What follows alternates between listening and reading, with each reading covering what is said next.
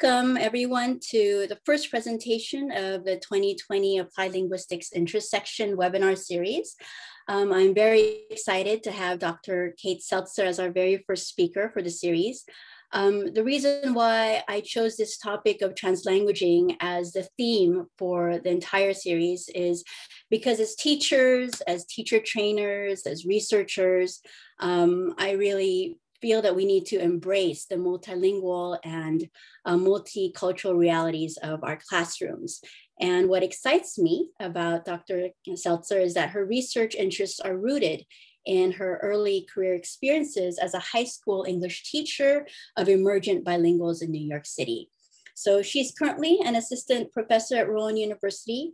Her research centers on expanding traditionally English medium spaces to include the diverse language practices of all students, those viewed as bi and multilingual and those viewed as monolingual.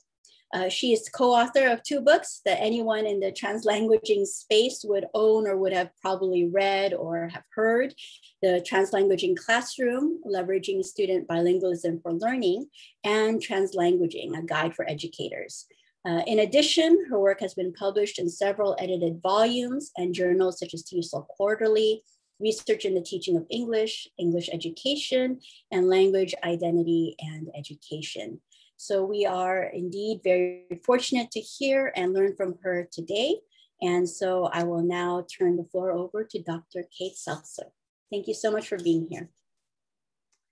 Thank you so much, um, Anna. I really appreciate the intro. Hi, everyone. Um, so exciting to see so many people from so many different areas of the world. Um, I hope some of you aren't getting up too early or staying up too late. Um, I'm here in New Jersey uh, where it is uh, just about 11 a.m. and I'm so excited to be here with you. So I will jump right in and share my screen.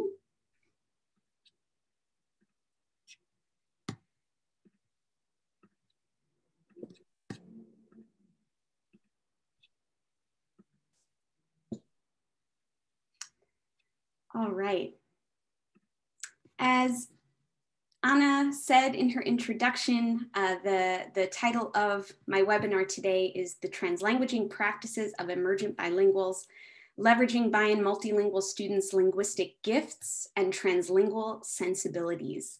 Uh, and to get us started, I am going to uh, toggle over in a second to TikTok and show you a, a video entitled, Tell Me You're Bilingual Without Telling Me You're Bilingual. So let me go over to that. No computer. Tell, Oops. Tell, tell me you're bilingual without telling me you're bilingual 我先，I'll I'll go first。那么你先去 trash，然后点出来 what you deleted，but like 你两个 fingers tap，什么是 tap？不是 tap，是 press press。No 对，then choose for cover 就是可以 save。别讲了，我 I know computer，知道你知我知道你 know computer。Tell me you're bilingual. Okay. So let me go back here. So okay, what what what do we see uh, in this TikTok video? It's short, but there's so much here. So certainly first we, we see translanguaging, which I'm going to talk about a lot more, but refers to the fluid interrelated language practices of bilingual people.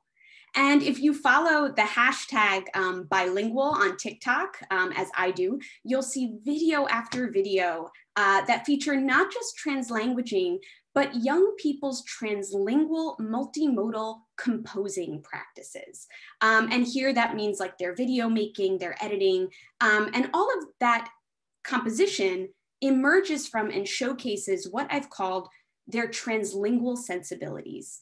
And by this, I mean, among other things, their dispositions toward language, their sophisticated understandings of the role of language in our society, the intersections of language and power, and an orientation that embraces a transgression or even a rejection of monolingual norms. And, and right here, you know, just looking at some of the comments on the TikTok video that I screenshotted here, um, you can see these sensibilities at work right here in, in the first and the third comments, we see an interest in language sharing, right? This person says, this is a lot like explaining things to Hispanic moms, right? And the, the author said, a universal type of panic. Um, and in the, the fourth, the second and the fourth, there's this interest in language play. I mix up words between Japanese, Mandarin, and Korean all the time. Then I'd explain words I don't know in either English or Tagalog, Taglish, or this last person saying a verb in my language and adding ing at the end. Um, so there's a lot of humor, there's a lot of this interest in, in language exploration and language play. And then here in this, in this third comment here, you'll see a questioning of the very things that we decide are quote normal about language, right? This person says, genuine question, so why is it such a huge flex to speak two language? Isn't languages, isn't that like normal? right? So again, here I would argue both translanguaging and translingual sensibilities that exist for so many bilingual people. And yet, how do we typically teach language in schools, right? We teach that the normative ways of teaching language in schools are, they rarely tap into the translanguaging practices, translingual sensibilities, and sociolinguistic gifts that students bring with them every day and are all over social media platforms like TikTok, right? Instead, the normative way of teaching language is to focus exclusively on English, right? Maybe using students' home languages as scaffolds or to briefly clarify a concept, or we separate students' languages into the, you know, quote, languages of the day uh, in many bilingual programs with very little room for students to explore the intersections of their languages and cultures and uniquely translingual, transnational, border crossing lives. Um, and much of the reason that schools are set up this way is because of deep seated ideologies that erase the norm of bi and multilingualism and translanguaging, and instead position monolingualism and quote native speakers as the ideal. So in this talk, I'm going to invite you to think about what it might look like to reorganize TESOL classrooms so that they leverage the translanguaging and translingual sensibilities of students. What ingenuity might arise what opportunity for critical sociolinguistic conversation, what ideas for writing and creating, and what opportunities to build the kind of language practices and critical consciousness that will find them success in school and beyond.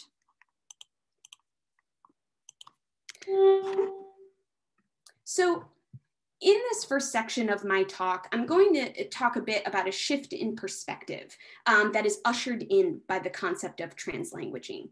And what it ushers in is this asset-based framing of bilingualism and bilingual students. Um, so to jump in, I'm going to switch us over from TikTok to Twitter and show you a video that I think provides uh, a nice entry point uh, into, into this conversation. ¿Ahora qué estás haciendo? ¿Qué? Bájate de ahí. Vete, I'll wash my face. ¿Qué? I'll wash my face. You're gonna wash your face? Yeah, then I'm dirty. No, ¿cuál dirty? You're not dirty. Get out of there. Okay. Bájate de ahí. Okay, I'm dirty. Okay. You're dirty? Okay. ¿Anda cochina? Sí, mira. Ay, pinche muchacha cochina. Bájate de ahí. No. Samantha, Yo quiero wash my face. watchate the face. Get out of there. Okay, then I put the face. Esto, mira. No. ¿Qué tienes? A ver, ¿qué tienes? Mentirosa. Bájate ahí. No. Bájate. No. Que te bajes, te estoy diciendo. No, wash my face. No me estés gritando, Samantha. I'll wash my face. No me estés gritando. Okay. So, so let me go back over here. Um, I love this video, um, and and one of the reasons I love it is is of course it's very funny. Of course it shows this uh, amazing, strong-willed toddler, right, doing what all toddlers want to do, trying to be her own person, trying to do what she wants, um, and of course convincing her caregiver that what she wants to do is what she should be doing. Um, but it's also such a great example of how Samantha's way of languaging is the communicative norm in bilingual families. Um, how Samantha is expressing her full linguistic repertoire in this interaction with her caregiver. And it's a demonstration of how someone like Samantha can communicate very effectively through this fluid use of languaging. Um, and so you can see, you know, th this interaction of all these things, but Samantha and students like Samantha are often viewed very differently when they actually walk into schools speaking like this. Um, so how might Samantha be viewed if she were to speak like this um, to her pre-K teacher, for example, on her first day of school?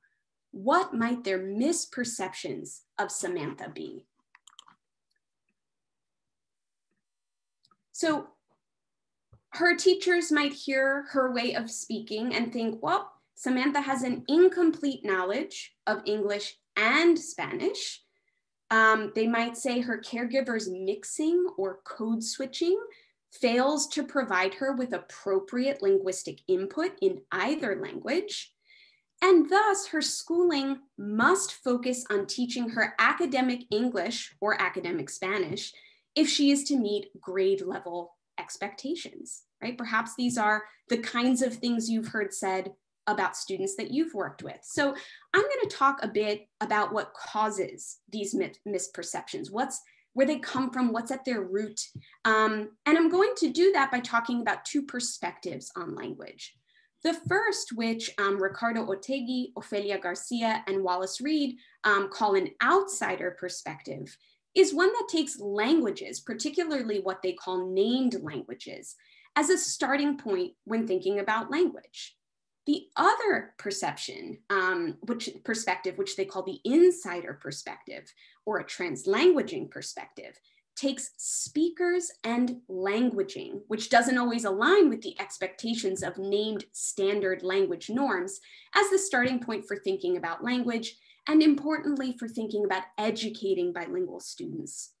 Um, and I'm going to argue that this insider translanguaging perspective can help us to break down rather than uphold these kinds of misperceptions about students like Samantha. So let's jump into these um, perspectives. The outsider perspective sees Samantha as speaking two separate named languages, English and Spanish.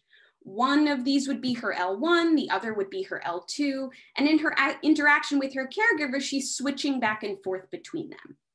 Um, this perspective upon her entry into school might view her normative way of communicating at home as inherently different from and even inappropriate for what will be expected of her when it comes to school based language and literacy tasks, which are typically only in one named language or the other. But this insider perspective, the translanguaging perspective, views Samantha as the norm in our globalized world. A simultaneous bilingual who grew up not necessarily knowing an L1 or an L2, um, but only the ways that her family spoke to her and how she communicated back to them through the use of her integrated, holistic linguistic repertoire. Some features of that repertoire sound like what is socially recognized as the named language of English or Spanish, and as Samantha gets older and goes to school, she'll learn that in certain contexts, she'll enact some of those features, but not others, depending on the communicative context. But at home, with her caretakers, in her community, she doesn't have to suppress any features. She can translanguage in ways that align with the communicative norm of her home and her community. So, so why do these framings of language matter? right? I would say that these different framings often lead to different perceptions of language minoritized speakers, right? So because an outsider perspective frames named languages as the reality, it also brings with it concepts like a quote standard version of a language. This means that there are quote non-standard ways of speaking that language, which in turn ushers in concepts like native versus non-native speakers, academic versus non academic language. And an insider perspective, on the other hand, frames all languaging as social practice, right? This innate human capacity that we all have to do and be through languaging, right? No language is inherently academic. It is how we do language, right? That would make it appropriate for a different context or another. And if bounded named languages have a standard version and a non-standard version, um, if there are native and non-native speakers, that outsider perspective also invites marginalization and minoritization of certain speakers. Usually those minoritized language users' ways of languaging, right, and otherwise minoritized identities in dominant cultures differ from how named languages are defined and delineated and are thus seen as less than, um, and those speakers are perceived as deficient. An insider perspective recognizes the history of colonialism and racism in the invention of what we call named languages and understands that vestiges of that oppression persist and endure in our current educational system. So um, related to these different perspectives, um, Ofelia Garcia laid out in 2014, uh, and then she and I actually revisited this uh, this idea in, in a 2020 article, um, book chapter that we wrote together in the book Envisioning TESOL through a Translanguaging Lens, which I would um, encourage you to check out. Um, we write that translanguage, translanguage TESOL challenges five major misconstructions about English, its speakers, the learning of English, bilingualism, and the teaching of English. And those five misconstructions um, and how we remediate them, right, is that English is not a system of structures. Native English speakers are neither the norm nor objective fact. Learning English does not proceed from scratch, is not linear, and does not result in English monolingualism. Bilinguals are not simply speakers of a first and a second language, and the teaching of English cannot be enacted in total separation from other language practices.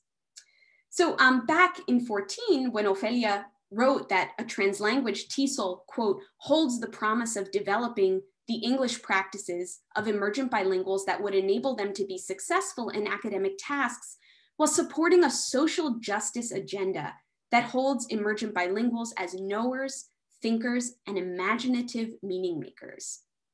And to, to do this, to, to, to envision a translanguage TESOL requires a fundamental shift in how we teach what we've come to call English in TESOL settings.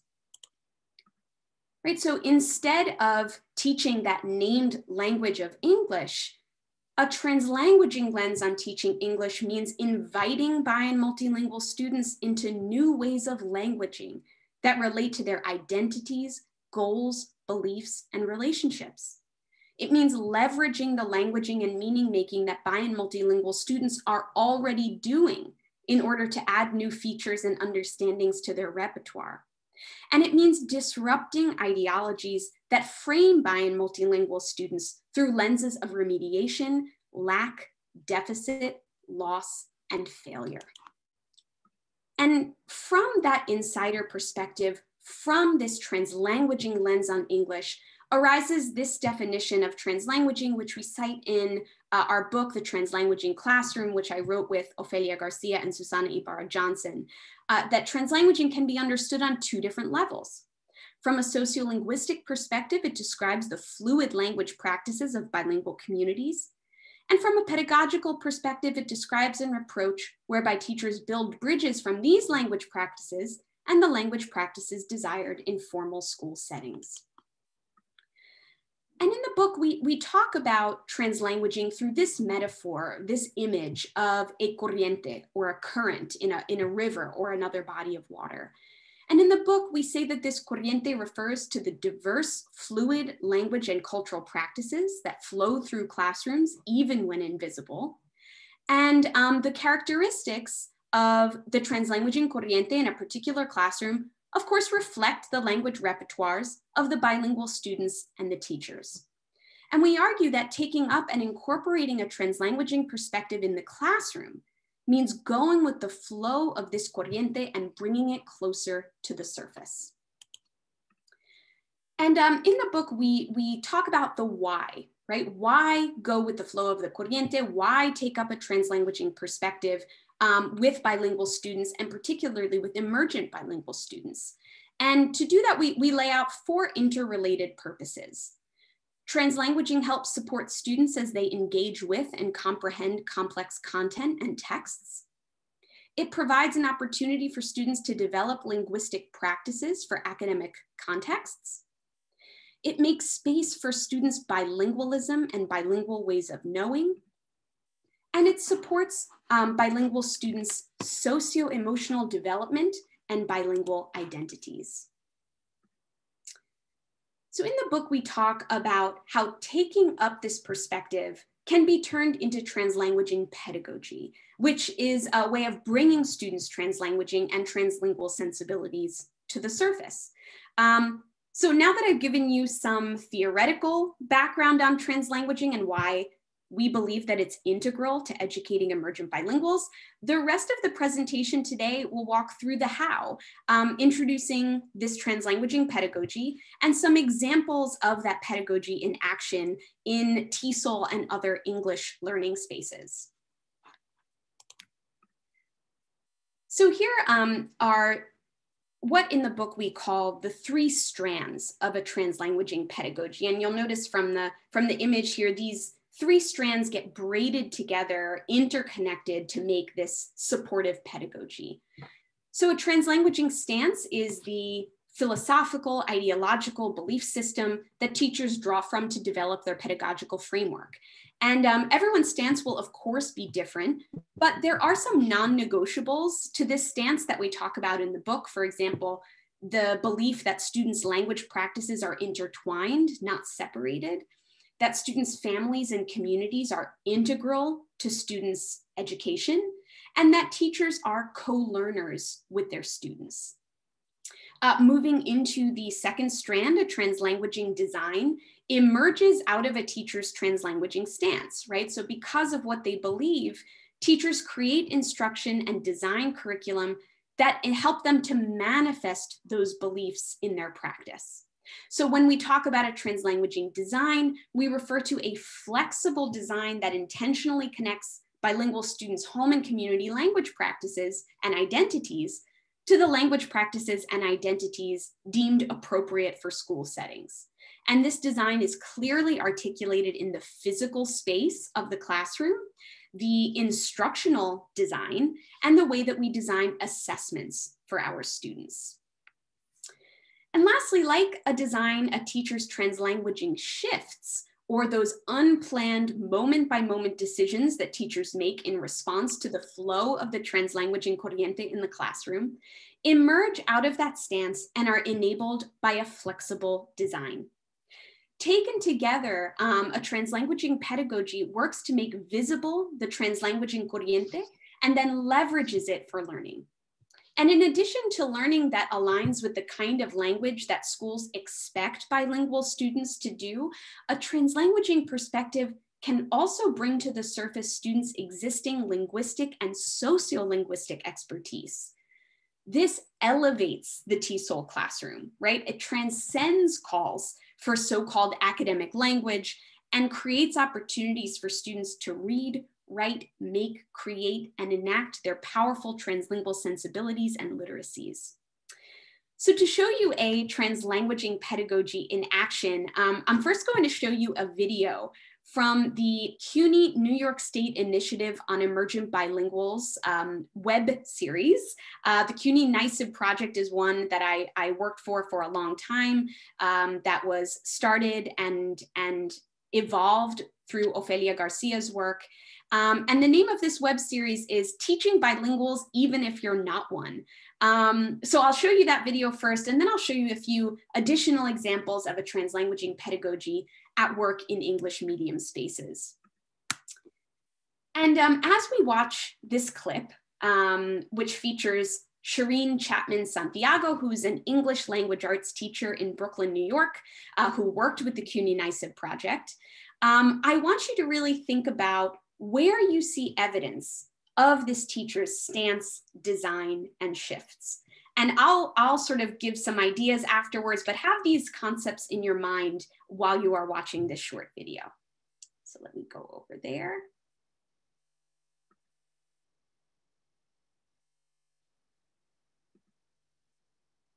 Currently, we're reading To Kill a Mockingbird, which is one of my favorite books. And I think it's a great book to teach this population of students. And one of my favorite quotes from this book is uh, You never really understand a person until you consider things from his point of view, until you climb in his skin and walk around in it. And I think that's what it's all about. I think as a middle school teacher, it's all about empathy. Welcome back to Teaching Bilinguals, even if you're not one. I'm Sara Vogel, a research assistant with the CUNY New York State Initiative on Emergent Bilinguals. Today, I'm here at Ebbets Field Middle School, an exceptionally diverse school in Brooklyn, New York. On any given day, you can hear students speaking Haitian Creole, English, Spanish, Arabic, and two dialects of Fulani. Miss Shireen Chapman Santiago is an eighth grade English teacher here.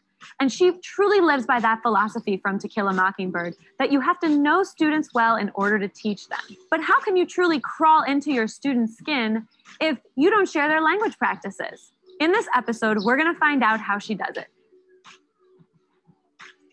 I think the quote really inspires me to dive deep and understand who the student is and not just, you know, a name on a roster, but who is that person and build a relationship. Let's get into Miss Chapman Santiago's tips for building relationships with her bilingual students. Tip one Miss Chapman Santiago is a keen observer of her students' expressions and behavior. First and foremost, cues, body language. When you give them something and they're just like, they delve into it or they kind of just like look around. So that's, I always look at those things. Like I'm a mother first, right? So I'm very in tune to their emotions because they are teenagers and they're very dramatic. And so when they come in with that face, I'm not going to continue with the lesson. I'll direct the students to do something and I'll pull them out in the hall and have a conversation.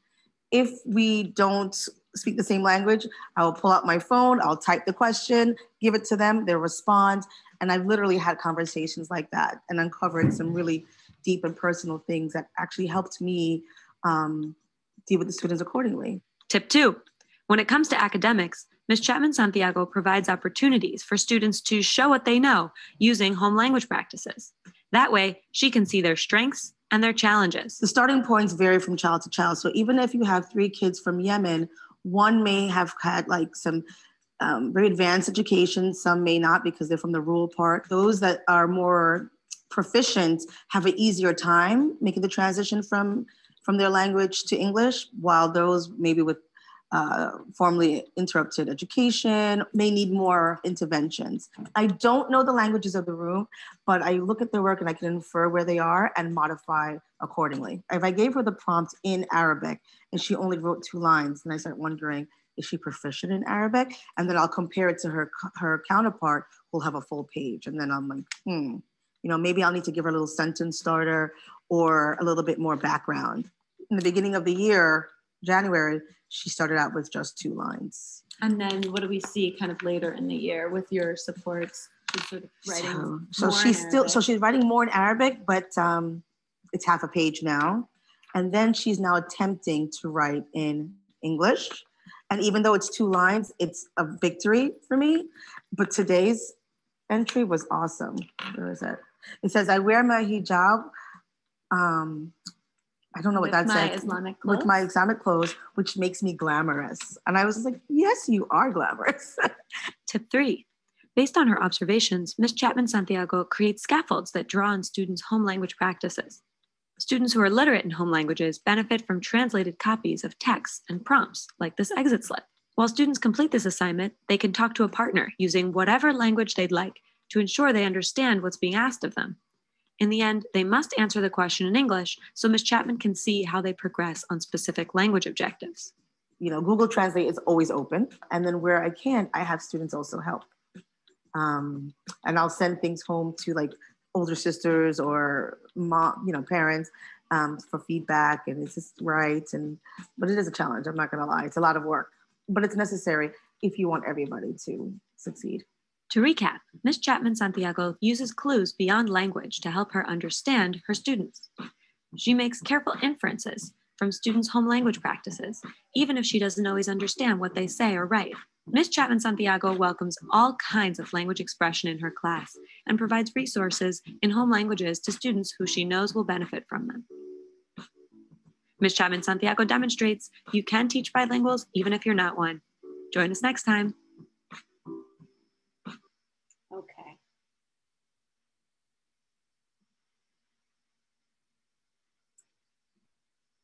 So, so really quickly, just to uh, walk through these three strands when, when seen through the lens of this video. And by the way, that's only one of five videos that are part of this web series, uh, Teaching Bilinguals, even if you're not one. So I, I really encourage you to check those out. Um, we certainly see evidence of Miss Chapman Santiago's stance, right? We see the importance of her um, building relationships with her bilingual students. We see the importance of using students' home languages juntos or together with English.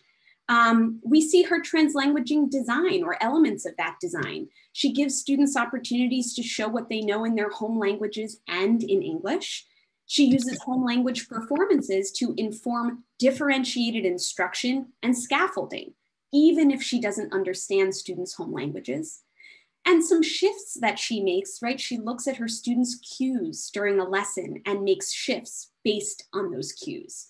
She has translanguaging, uh, translation apps. Um, not only are they open all of the time to her students, but she uses them to have conversations with students about their lives.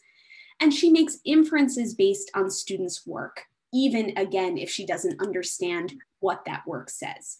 Right, so you see here how these three strands, all of these elements of Miss Chapman Santiago's pedagogy are woven together to create this highly supportive, highly multilingual English learning space. So I wanna walk you through a few more examples now from different kinds of English spaces so you can get a few different views of what this can look like. Um, so this is a, a poetry activity. You know, I saw someone put in the chat is translanguaging only for young children. Um, not at all, right? So you saw Miss Chapman Santiago's classroom was middle school students. This example I'm going to show you is high school. Um, so in the States, that's, you know, 14 to 18 year olds, more or less. And um, I actually write about this poetry activity in an, a recent article that was published in the Journal of Language, Identity, and Education. I include the citation down there if you're interested. Um, so, so this comes out of my research in Miss Winter's English Language Arts classroom in New York City.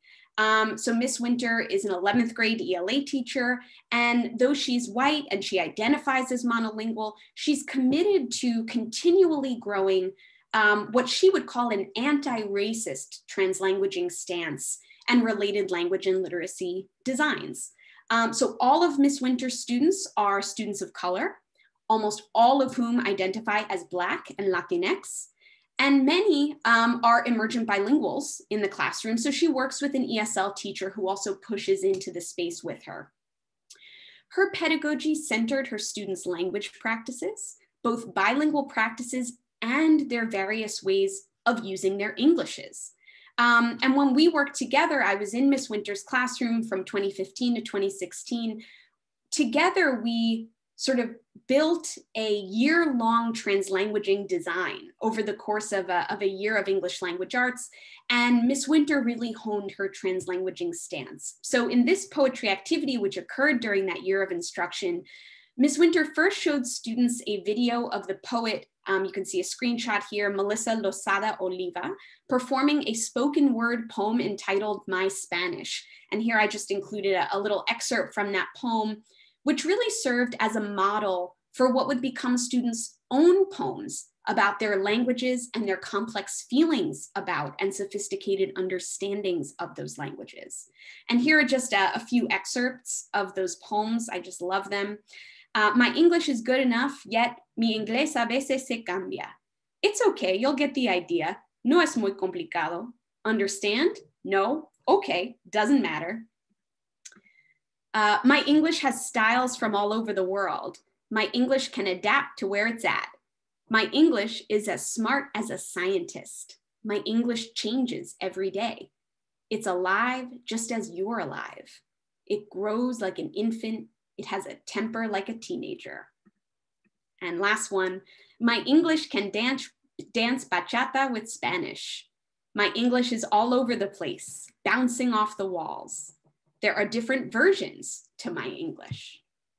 Um, so uh, what I think you see here, sort of similar to that, that TikTok video I started with is not only students' amazing translingual composition practices in these poems, but also their translingual sensibilities their pride in their language practices that don't align with standard quote or native quote language ideals, their transgression of monolingual norms through their languaging, their love of their languaging and connections to their cultures.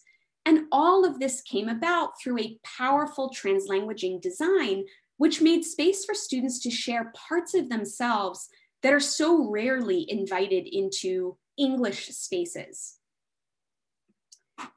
And um, one more one more design I want to show you here, um, and then I will wrap up so we can have some time for for Q and A.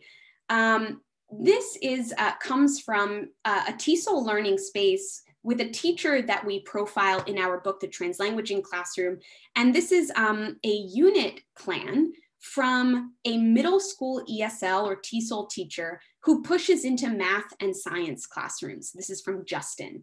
The students that Justin works with in his school in California are highly linguistically and culturally diverse.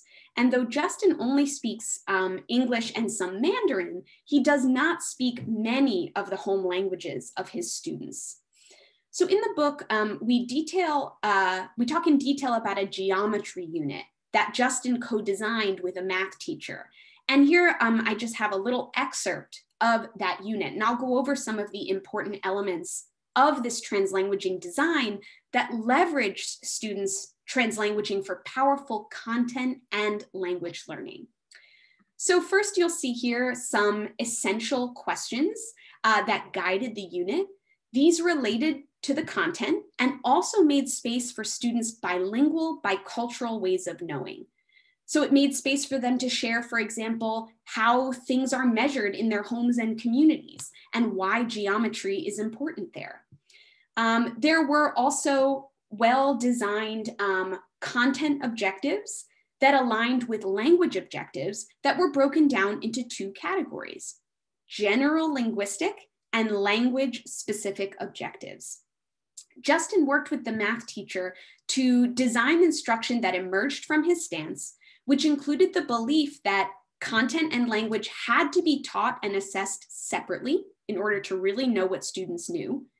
And also that students had to be assessed on what they could do when using all of their language practices, their general linguistic proficiency, and when they used the language of the classroom that was English, so that their language specific performances in English.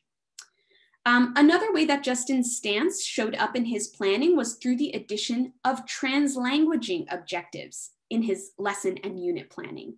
So here you can see, um, in addition to the general linguistic and language specific objectives, he thought about how explicitly he could plan for and invite students to use their bilingualism, cultural knowledge, and translingual sensibilities to do exciting, innovative things with geometry.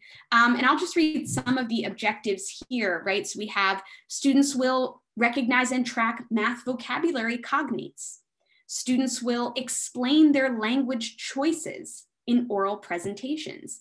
Um, students will work in groups to solve math problems using both English and their home languages, right? So translanguaging objectives in addition to content and language objectives, which, which we often see.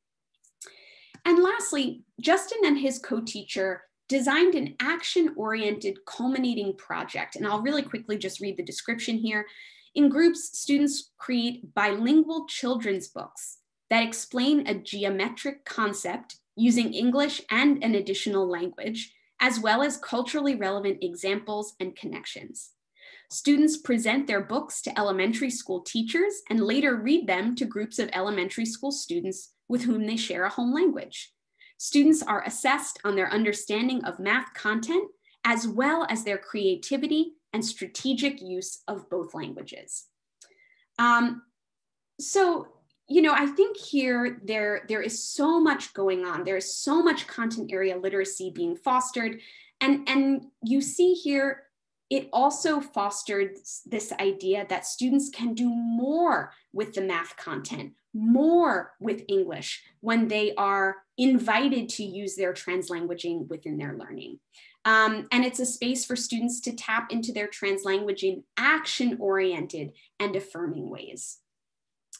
So um, I do have one more example, but I'm going to skip it so that we have a little more time. But it is one of the other wonderful teachers that we uh, uh, show on the CUNY NYSIEB website. Her name is Michelle Demarukis, and she is an, a TESOL teacher in New York City as well. And she's one of the teacher leaders in the project. So on the website, um, which I will put in the chat after this uh, presentation, we feature people in the pro who worked with the project who really ran with this idea of translanguaging. And Michelle is one of those teachers who um, really took a translanguaging approach to project-based learning and writing. So I'll, I'll show you that page briefly after the, after the presentation, um, but I'll now move forward to um, sort of thinking a little bit about first steps, right?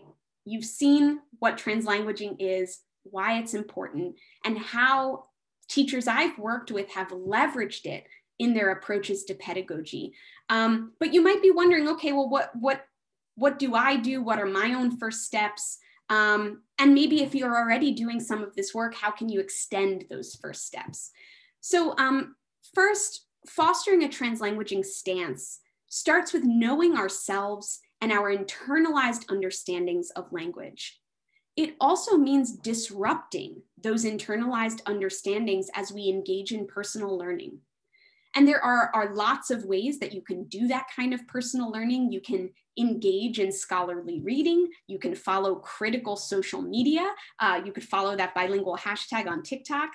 You can watch movies and TV, listen to podcasts, read literature, all of which is ideally written and created from the points of view of bilingual people and communities, and that challenge normative notions about language and speakers. And of course, that personal learning will hopefully be extended and continue as we communicate our stances to and learn from our students and colleagues in our individual contexts. You can also, like the teachers you saw today, make space for translanguaging within the programmatic language structures of schools, right?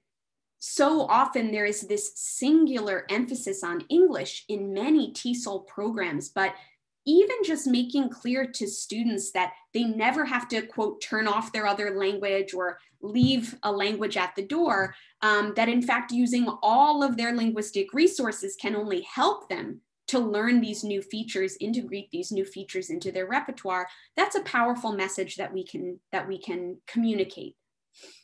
Um, you might supplement your existing curriculum with texts that are culturally sustaining and normalize translanguaging and bilingualism.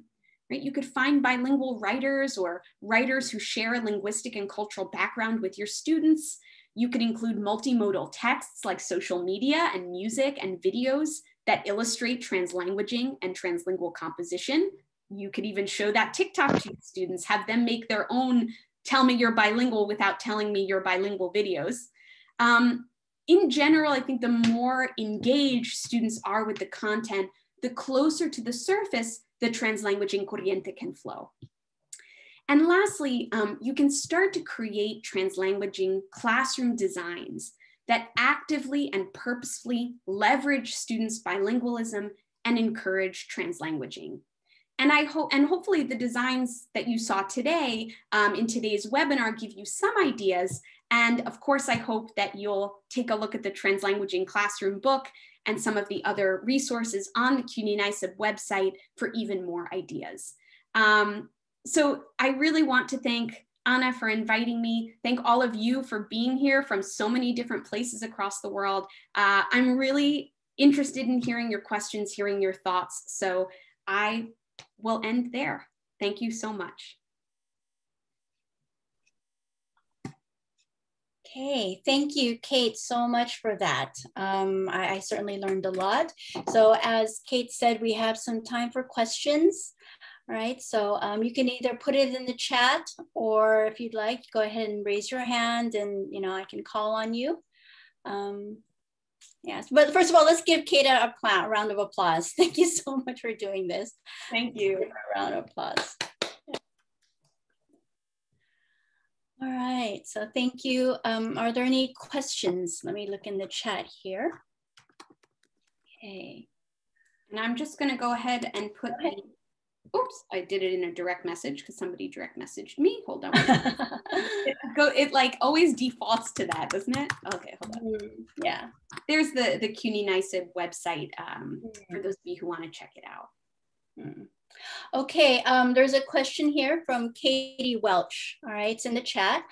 Uh, thanks for a great talk, Kate. I think of a time I was training in service uh, adult TESOL teachers and tried to debunk the myth that a student's home language has no place in the TESOL classroom.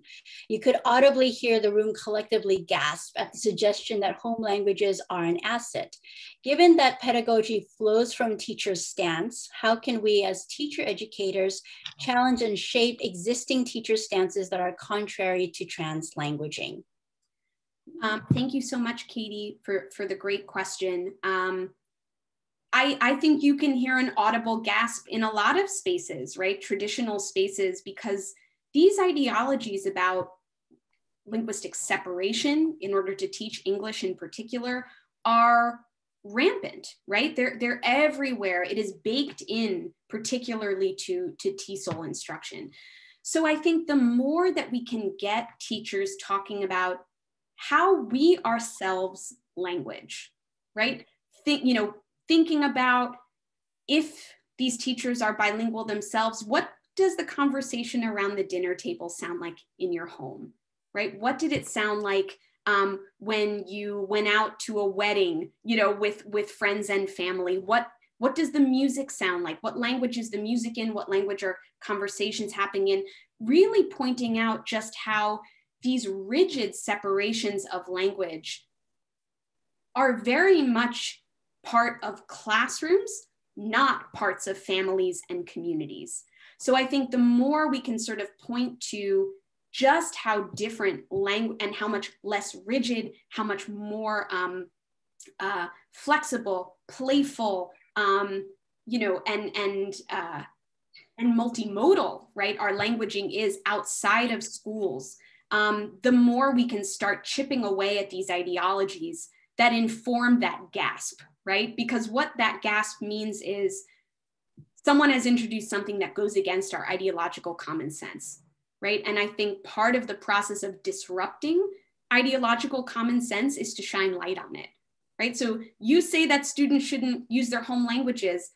How did you plan this lesson today, right? I mean, thinking, really getting teachers to think about their own practices um, and seeing the, the diversity of their own language practices can be one way of shaping that stance in teachers who might be contrary to it.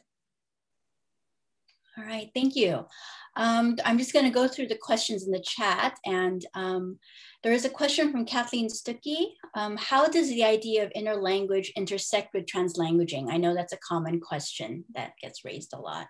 Okay, let me just have some. Yeah how does the idea of interlanguage intersect with translanguaging? So I think when we when we think about translanguaging, um, translanguaging is almost a, a getting back to ideologies that are outside, you know, getting away from ideologies that are affiliated with like a monolingual gaze, right? Or a monolingual perception. And so I think terms like interlanguage, like code switching, um, like so many of the of the structures that are a part of the linguistics perspective um, per profession, right, and TESOL profession, is to say, you know, that these are these are inventions, right, that have been created, terms that have been created through a monolingual lens on the languaging of bilingual people. And so I think translanguaging as theory would say that the ways that bilingual people, the ways that multilingual societies, communities have always languaged does not align with the norms that we teach and uphold through these professions and through these, these um, terms, right? So I would say that translanguaging is a lens that can be applied to all languaging and to even terms that are, are, are um, aligned with some of those monoglossic ideologies like interlanguage. Okay. Um, there's a question uh, uh, related to Kate Welch's question. Um, how do you address students' reluctance to embrace a translanguaging environment? Right? For example, students who have internalized the perfect attainment view of English proficiency, and so they're actually quite reluctant to even use their home language in the classroom. Yeah. Um, it's such an important question, and, and it's one I get a lot. And I think, you know, we definitely would never say we don't need one more thing to be prescriptive about with students, right? You must engage in translanguaging, right? No, um, we would never want to tell students how to use their languaging. Um, but I think, you know, particularly for older students, and those are the students that I've worked with, right? Usually high school students. And I gave you examples today of, of older students. That's a lot of years, especially if they've had a lot of time in the US a lot of years of schooling that have communicated to them that their home languages are not important to their learning. And so I think, you know, that reluctance is very much um, often tied to self protection, um, to, you know, I've been told my whole schooling career that I can't do this, and now you're telling me to do this, right? It's understandable that there would be some reluctance. So I think the more we invite, the more we make space, the more we actively leverage and, and ask students to talk about their languaging, um, the less reluctance there might be, right? But if a student wants to use English only in the classroom, that is their right. What I think is important then is also communicating that if you are bilingual, if you are multilingual, nothing you do will ever just be in English. Everything you do will be multilingual because you are multilingual. So even if something you write for me is in English, the process that you went through to create it was translingual in nature because our languages are not separated, right? They're interconnected and inform one another. So I think even these kinds of things that we can communicate to students are powerful and set up the opportunity for students to, to lower their reluctance a little and share. Um, from a Ava, um, she says, thank you for your great talk. Could you tell us or explain how is translation defined or seen through the translanguaging lens? From the translation theory perspective, there's nothing like a translation. There are different ways. Do you use communicative translation or literal translation? So how does it work with translation theory?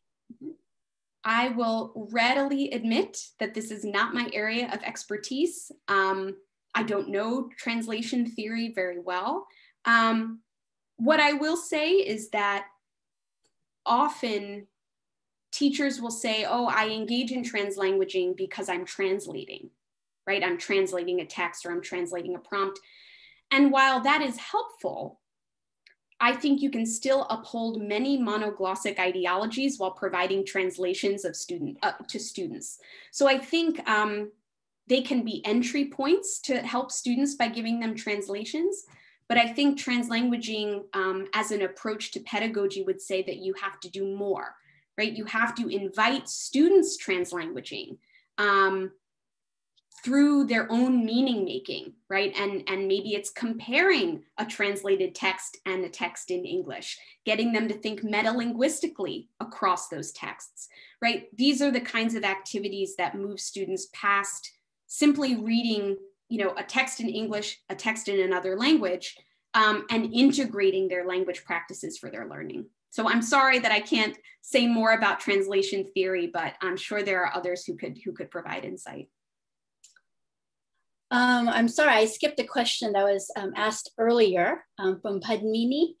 Um, it's related to literacy. So what other means of enabling students' languaging knowledge systems are there for students that can't write in their other language systems? Mm-hmm. Um, you know, and this sort of relates to Irshad's question about um, special factors to be taken with translanguaging at the elementary level, right? I think, which is that you know, many, especially young children, are emergent writers and readers, not just in their in English, but in their home language as well. So I think the more we can create opportunities for oral language, right, for students to turn and talk to one another about a new topic before learning something in English, right? You're sitting next to someone who speaks your home language. Talk about what we just learned in your home language, and then I'm going to teach you something about it in English, right? Or play, right? I think particularly with young children, encouraging play that is multilingual around the content area topics that are being taught in class um, is wonderful. And we've done some work with CUNY NYSIEB on on translanguaging and play-based learning, which I think is, is something that can really um, you know, bring students translanguaging to the surface and then be leveraged in ways that are you know, great for students who are pre-literate, um, pre-written and, and um, text-based literacies.